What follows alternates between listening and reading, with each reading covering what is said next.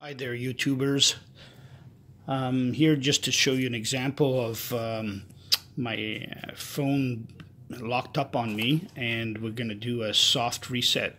I've been looking all over the internet to uh, figure this out and uh, I even stumped uh, Samsung on this. I called their 1-800 number and they weren't able to help me out and while I was on the phone um, I was telling them that I googled uh, the uh, hard reset or soft reset or reboot the Note 8 and I wasn't able to uh, play with it because uh, it was telling me to use the volume up, the power button on this side, and the Bixby button and that wasn't working. So I tried a different combination and it was volume down, uh, power button, and Bixby button.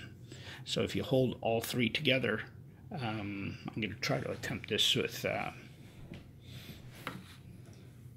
there we go. Hang on a second. We'll do this with uh, two hands. Here's the volume down, power, and Bixby. So,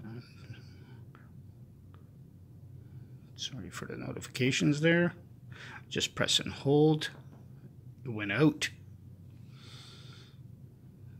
You'll see it come back up in a few seconds.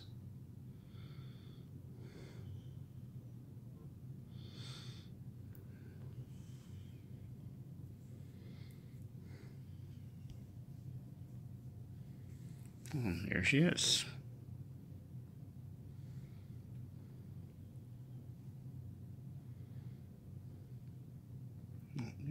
Getting out of focus.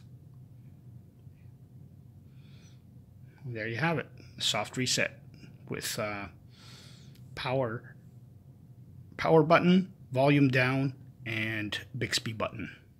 Thank you very much for watching, and make sure you subscribe down below, right over here, and hit the like button while you're at it. Thanks very much. Have a great day.